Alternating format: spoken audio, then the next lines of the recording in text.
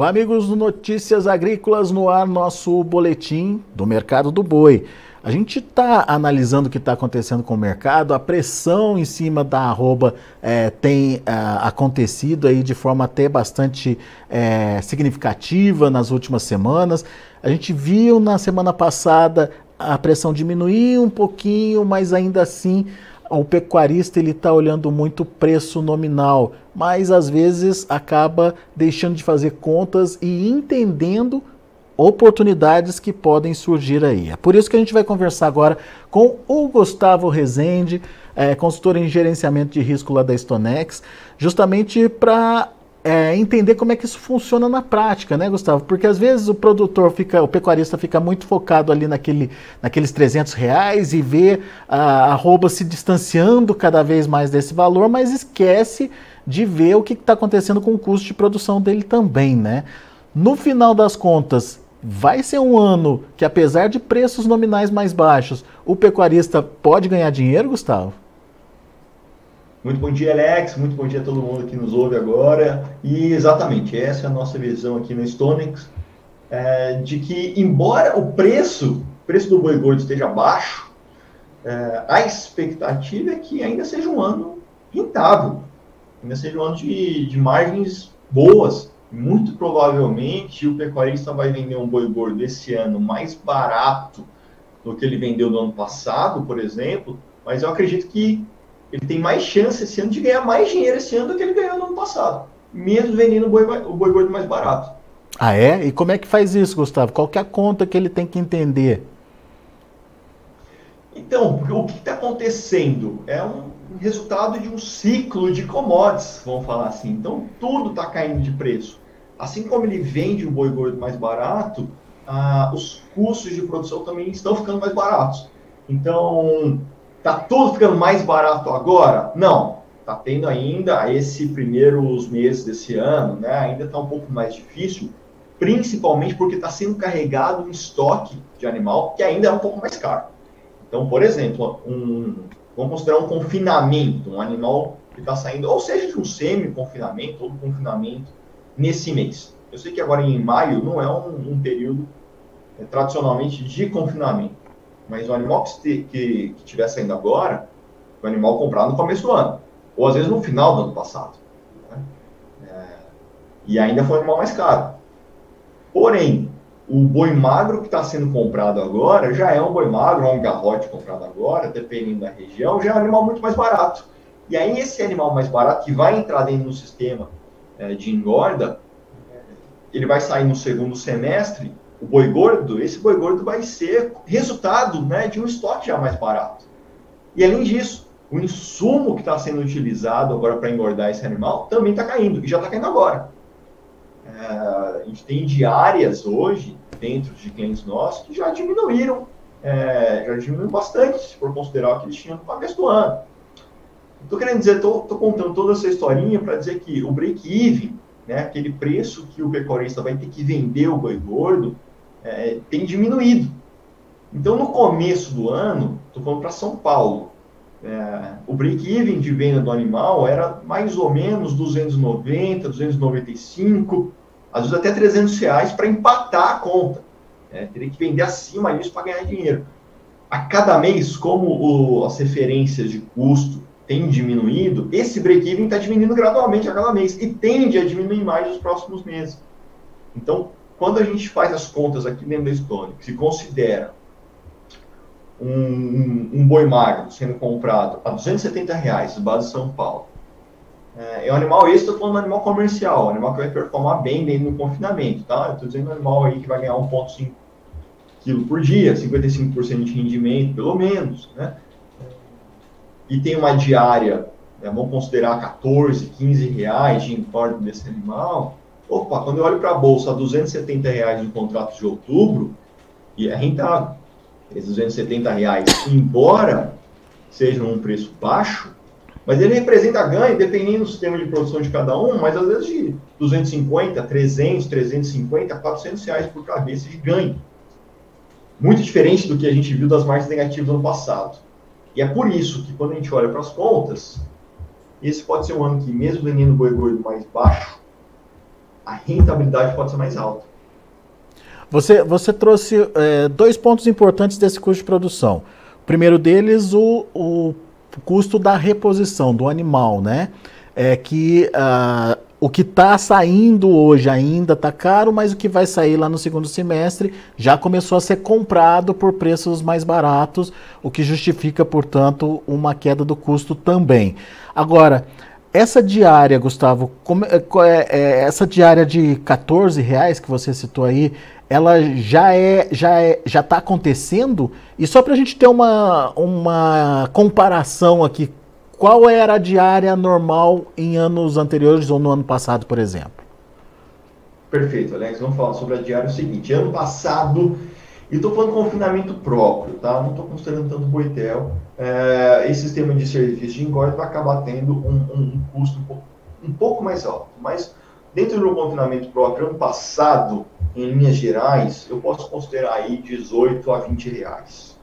Tá? Claro, vão ter regiões que isso era 22, 23 reais, é, mas eu acredito que como padrão, 18 a 20 reais na média para o ano passado pode ser razoável, pode encaixar aí, talvez na maior parte das pessoas que nos ouvem. É, a gente começou o ano próximo desses valores, talvez orbitando ali os 18 reais. Nesse momento, eu acho que é justo dizer é, que a diária agora esteja ao redor de 16, 17 reais, né? É, principalmente centro-sul do país. Mas se você já começa a pintar em algumas regiões, em algumas propriedades, diárias abaixo disso, 15, às vezes 14, 14,50, tá? mas eu acho que é mais correto dizer que os 14 reais é mais uma expectativa realmente com chegada no milho safrinha, onde vai derrubar mais essa diária. Então, a gente pode colocar numa escada, vai, vamos colocar 18, 20 reais no passado, começando o ano nesses 17, 18, isso vem caindo hoje a 16 reais, uma expectativa que caia para 14, 15 reais daqui a pouco. E, aí, e ainda assim, uh, isso traz aí um custo de produção é, mais, é, mais barato e, consequentemente, uma possibilidade de margem maior. É isso que o produtor tem que entender, então, Gustavo? É isso, porque assim, todo ano a gente fala isso, né? Todo ano a gente fala, tem que fazer a conta para ver a viabilidade do confinamento e ver como é que está é, o cálculo de cada um. Todo ano tem que fazer isso, obviamente. Agora, esse ano que você olha os preços nominais caindo, eu acho que esse discurso se torna mais importante. Claro que ano passado, ah, por exemplo, dois anos atrás, tinha que fazer essa conta também. Só que há dois anos atrás, o preço do boi só subia, né? E, mas os custos também vinham subindo. Né? Então, você teve um processo inflacionário de tudo. E agora é o contrário, um processo desinflacionário de tudo. É, embora o preço do boi gordo vai ficar mais baixo, com os custos diminuindo, opa, você pode ser que você tenha a oportunidade de garantir essa rentabilidade maior. É, e tudo vai cair. Né? Então, a gente olhar só o preço nominal, é, ter só em mente aqueles 300 reais, é, pode ser perigoso. Porque às vezes esse ano você vendendo a, a você pode vender abaixo de 300. Só como o seu custo também a, caiu, e se cair uma intensidade maior, opa, a tua margem vai ficar ainda melhor. Só que, diante desse cenário, a gente pode criar uma expectativa de aumento de oferta, né, Gustavo? Só que daí a gente precisa também ter o respaldo do, do varejo lá no final das contas, né? Para cair o preço por lá e melhorar o consumo também, né? Porque não adianta nada a gente correr e aumentar a oferta se não tem a contrapartida do consumidor final, né? Exato. E eu acho que essa contrapartida vai acontecer via preço. O que acontece? É, como os custos estão diminuindo, tanto o custo de engorda, o custo de reposição está diminuindo, é, isso, pode, isso pode fomentar, isso pode animar pecuarista a fechar o gado. Uhum. Né? Principalmente agora, com, com, as temperaturas começando a diminuir em algumas regiões, o pasto já começando a perder um pouco de suporte, embora tenha umidade, mas a, a temperatura já diminuindo, o suporte do pasto vai começando a ficar gradualmente menor. E esse gado vai ter que ser confinado. Uh, com custos menores, opa, dá uma animada. Você vai produzir, você vai ter mais oferta de gado. Você tendo mais oferta de gado, você vai ter mais oferta de carne. Você tendo mais oferta de carne, você vai ter preços de carne diminuindo. Até porque é um gado mais barato, que foi mais barato de ser engordado. Está com, uma com uma reposição, o estoque é mais barato. Então você tende, veja, toda a cadeia, toda a cadeia tende a, a colocar a régua um pouco mais para baixo. Se o preço da carne diminui, o consumidor vem. Então eu acho que esse ano, o, como a exportação a gente tem visto que em volume está rodando, mas preço está um pouco difícil ainda, é, a gente falou muito de exportação nos últimos anos. E eu acho que daqui em diante a gente pode começar a falar mais de mercado interno. O mercado interno, que sempre foi a maior parte da, do consumo de carne, eu acho que vai ganhar uma relevância maior.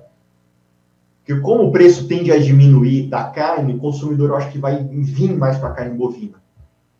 Talvez o supermercado não consiga vender carne com preço alto, mas consiga vender mais volume.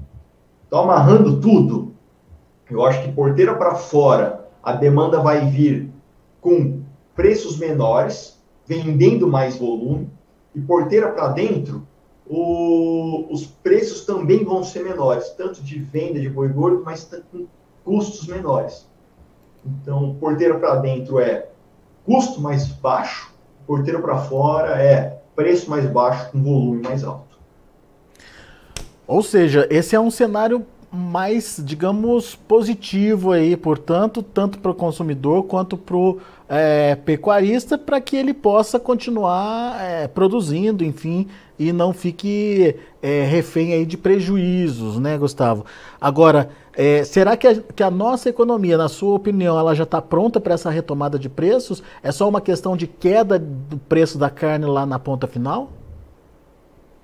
É, eu acho que gradualmente isso vai acontecer, né? É, eu acho que ele não acontece tão forte agora. Eu, não, aliás, eu acho que daqui a pouco já vai depender um pouco de clima, se isso vai acontecer no, num curtíssimo ou no curto prazo. Uhum. Né? É, por que, que eu digo isso? Dependendo do clima, a oferta de animal de pasto pode entrar mais forte, né? dependendo da região. Tá. É, não é toda a região que está com pasto tão bonito assim. Uhum. Mas Mato Grosso, Mato Grosso do Sul, por exemplo, choveu muito bem.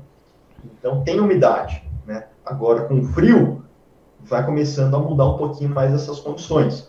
Mas é, quando eu olho para o segundo semestre, que aí eu, eu, eu, penso muito no impacto da reposição. Uhum. Né? Então, o boi magro de hoje vai ser o boi gordo lá de amanhã e milho safrinha entrando no mercado e diminuindo mais, podendo, né? Se tudo der certo, diminuindo mais o custo da diária. diária. Então, eu imagino isso mais acontecendo ali, vamos colocar para meados de agosto e setembro, provavelmente. Mas é cedo para afirmar, vai depender de safrinha, clima, é, o pessoal fechando mais ou menos o, o confinamento, mas eu consigo imaginar isso acontecendo, assim como suposição hoje, ali, a partir de agosto e setembro.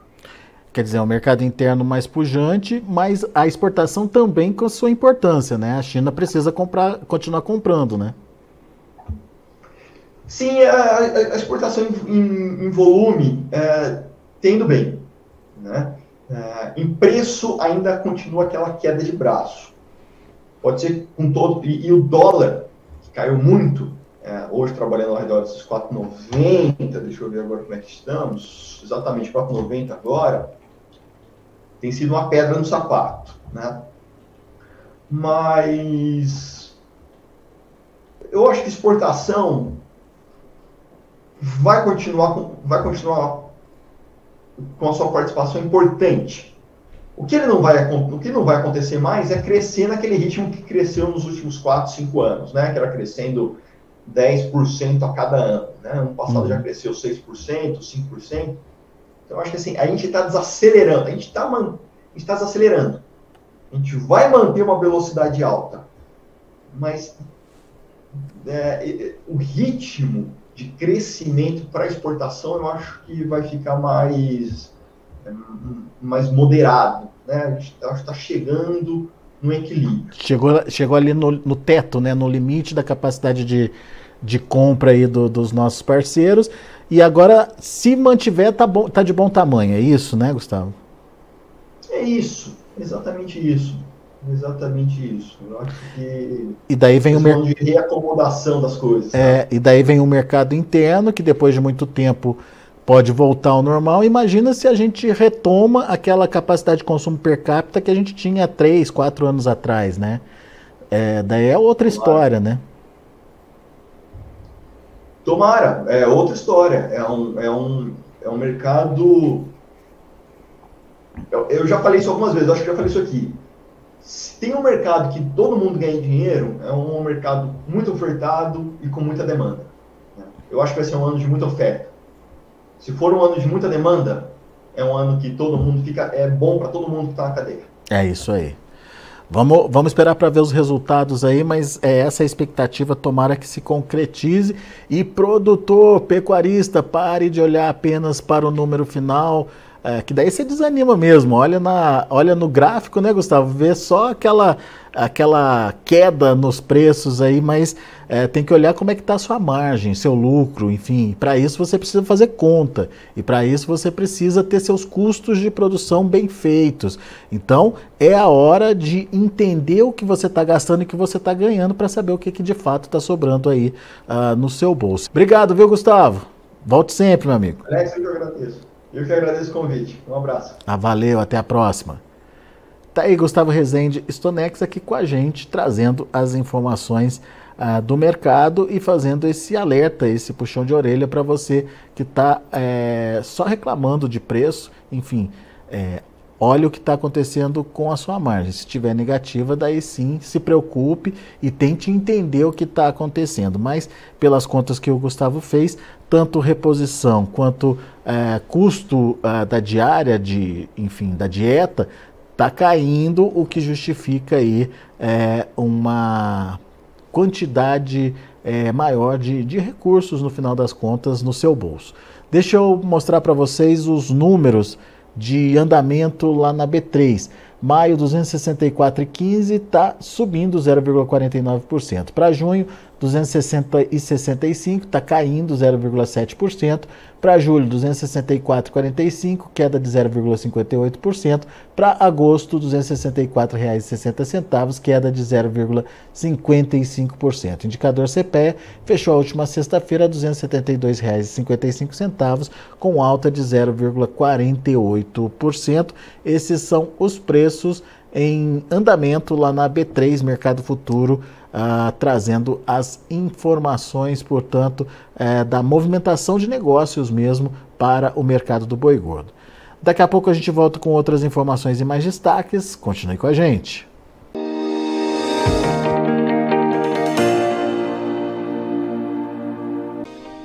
Se inscreva em nossas mídias sociais. No Facebook, Notícias Agrícolas. No Instagram, arroba Notícias Agrícolas. E em nosso Twitter, arroba Norteagri. E para não perder nenhum vídeo, não se esqueça de nos acompanhar no YouTube e na Twitch, Notícias Agrícolas Oficial.